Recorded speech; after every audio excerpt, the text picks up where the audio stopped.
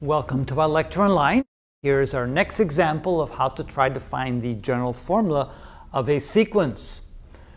Notice the numerators, it looks like we have numbers squared. This would be 1 squared, 2 squared, 3 squared, 4 squared, and so forth. So let's go ahead and rewrite that sequence.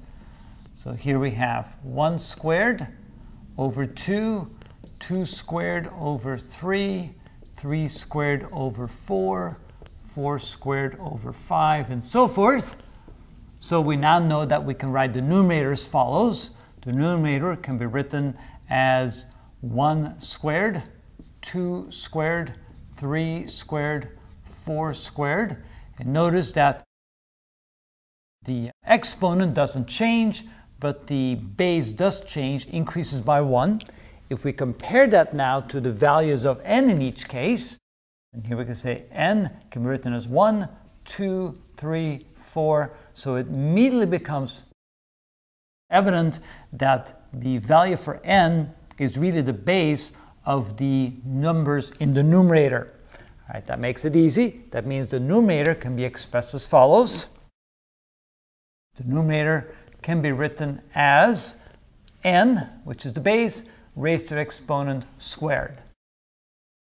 And it is in, in sequence, so you see that 1, when n is 1, the base is 1, when n is 2, the base is 2, and so forth, so we don't need an offset in that case.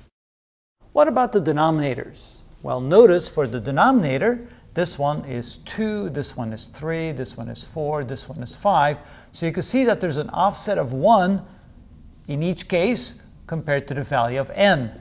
The denominator is 1 more than the value of n which means the denominator can be written as n plus 1, because in each case the denominator is 1 greater than the value for n.